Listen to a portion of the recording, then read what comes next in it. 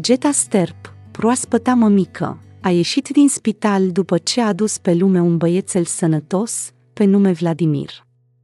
Momentul a fost unul plin de emoție, iar Geta a fost întâmpinată acasă de o familie iubitoare care a așteptat-o cu multă căldură și cadouri. Printre cei care au venit să-l cunoască pe micuțul Vladimir s-au numărat Culiță și Daniela Sterp. Alături de micuțul Milan, mama Geta, Iliana Sterp și cei doi copii ai acesteia.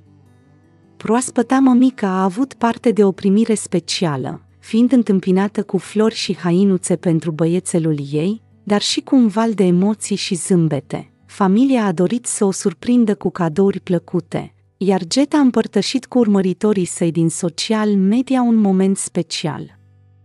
Într-un Instastory, aceasta a arătat cu mândrie și bucurie darul primit de la sora ei, Ileana Sterp, un halat pe care scrie mama. Scumpa mea, Ileana, mi-a adus o mulțime de lucruri, printre care și halatul ăsta.